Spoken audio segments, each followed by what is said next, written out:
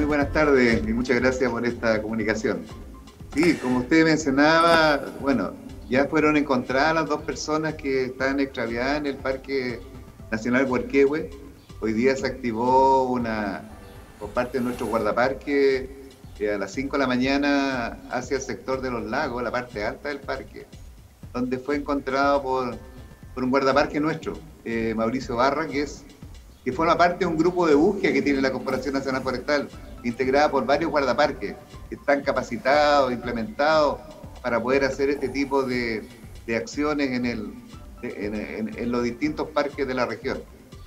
Así que tenemos buenas noticias, ya estas personas fueron, eh, ¿cómo se llama?, rescatadas y después llegó, posteriormente llegó Carabineros y también la ambulancia, donde ya tenemos unas una imágenes que lo están, que llegaron en buenas condiciones a, a, a, a Pucón, digamos. Qué buenas noticias entonces, eh, director, el haber encontrado con vida a estas dos personas. Recordemos que se trata de Romina Cedín y Michel Vivanco, con domicilio en Santiago. ¿Y en qué estado estaban estas personas, director? Eh, bueno, ap aparentemente la información que yo dispongo es que estaban sin, sin lesiones aparentes, pero están en este minuto están siendo, siendo revisadas por personal del SAMO, de la personal de, salud ya ellos van a determinar eh, si tuvieron alguna dificultad o algún problema. No, no, te, no tengo esa, esa, información estimada al momento. Ya lo único que nosotros sí estamos contentos porque eh, se hizo una buena labor, un buen trabajo y se logró rescatar eh, porque bajaron caminando sin problema a este matrimonio o estas dos personas que estaban dentro del parque. Sí, por el momento la información solo sería que efectivamente fueron encontrados con vida. No se sabe el estado, en las condiciones en que fueron encontrados, en qué parte del parque estaban ellos, cómo se perdieron, en fin.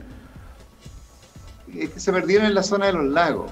Ellos, pero ellos se comunicaron, se comunicaron con el administrador de, de, la unidad en el momento que estaban, que estaban, estaban en la parte alta, pero no sabían cómo regresar. ¿ya? Y, y ahí nuestro guardaparque subió y y los ubicó y los trajo de vuelta hacia, hacia el lago Tinquilco, donde está la administración.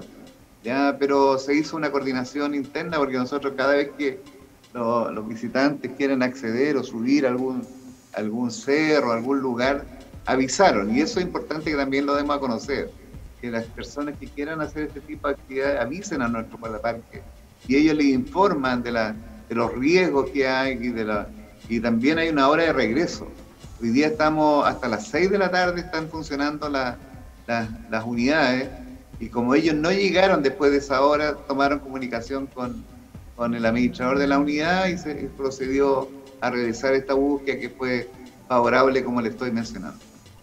Eh, director, a propósito de la pandemia, el contexto de, de, resguardo sanitario en el que nos encontramos, ¿cuál es la situación de, de cuidado, cuál es el protocolo sanitario de los parques en nuestra región?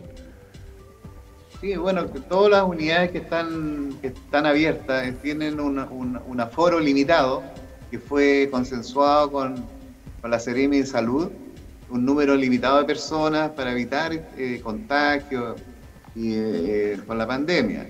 Nosotros también eh, hemos tomado todas las medidas de precaución, con implementación, con el uso de la mascarilla, el, el distanciamiento, también el alcohol gel en todas las unidades y se, y con todas las medidas de, de, precaución están entrando las personas.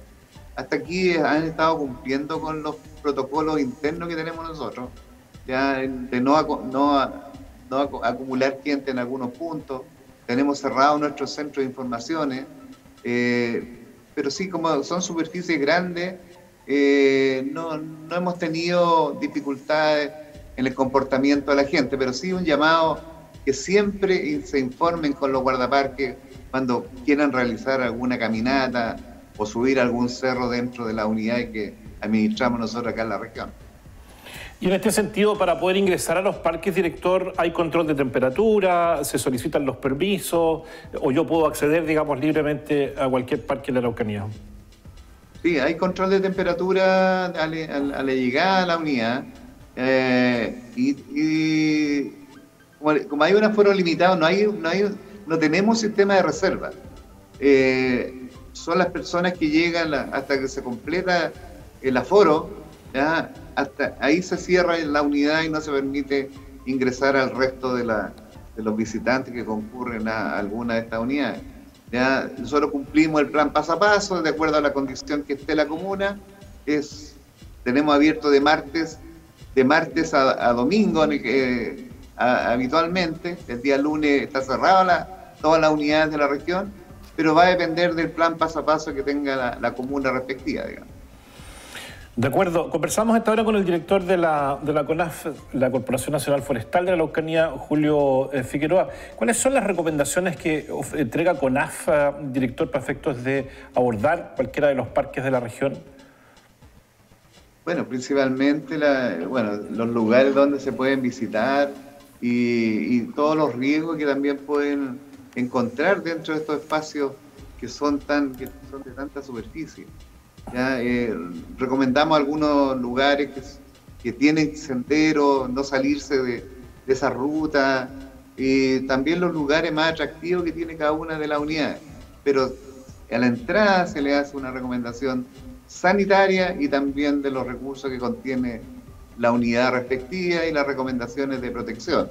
¿ya? Y que cualquier, como le digo, cualquier persona que quiera ascender o hacer una caminata a un volcán o a un cerro, tienen que ser informadas, tienen que ser a la, administradora o al guardaparque que está en el sector. Y en caso de extravío en uno de los parques, ¿cuáles son las recomendaciones a seguir?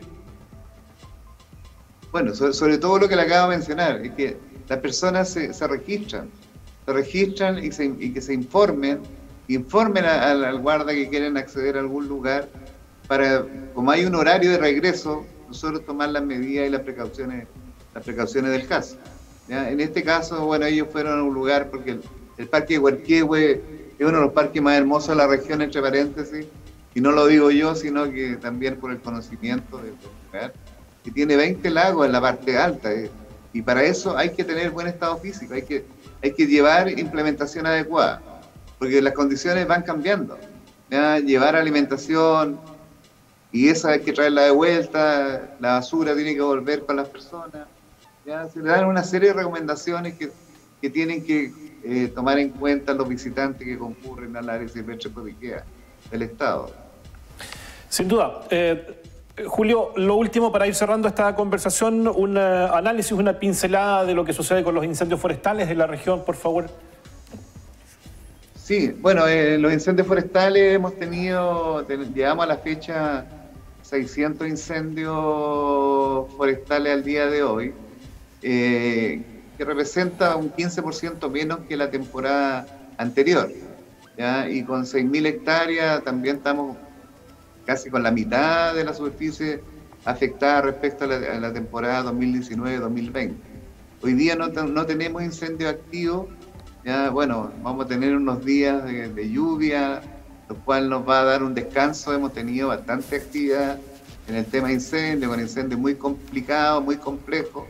Estuvimos en Coyipú y Ercilla el de semana pasado, en Purén la semana anterior, pero sí eh, eh, se ha hecho un buen trabajo de coordinación a través de la ONEMI, con las empresas privadas, un trabajo importante con bomberos. Hemos tenido un trabajo relevante con bomberos, hemos, mejorado las coordinaciones y, eso se agradece. ¿ya? O sea, hay un sistema de protección civil eh, robusto en la, Araucanía que puede dar tranquilidad también a nuestra, a nuestra gente que vive en la región. Pero sí un llamado permanente a la prevención, a tomar todos los resguardos, eh, porque estamos con una sequía prolongada, la humedad del combustible está bastante baja, digamos, bastante seca, y sobre todo los visitantes que nos ayuden a cuidar nuestra hermosa región de la Araucanía, una de las más hermosas del país. Bueno, nos plantean, fíjense, eh, para ir ya para cerrar definitivamente, eh, nos plantean por Facebook, fíjese, puedo pedirle director de CONAF que gestione una buena mejora de camino al volcán Soyipuy poco antes de la caseta de CONAF para poder acceder con el 4x4 de esa manera más holgada. ¿Es posible ver algo de eso, director? ¿En qué está?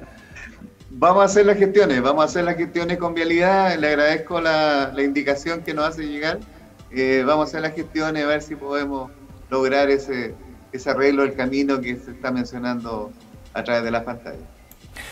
Julio Figueroa, director eh, regional de la Corporación Nacional Forestal eh, CONAF Araucanía, muchísimas gracias nuevamente por atender el llamado de UFRO Visión. Que esté muy bien, que tenga buena tarde, director. Muchas gracias a ustedes. Chao.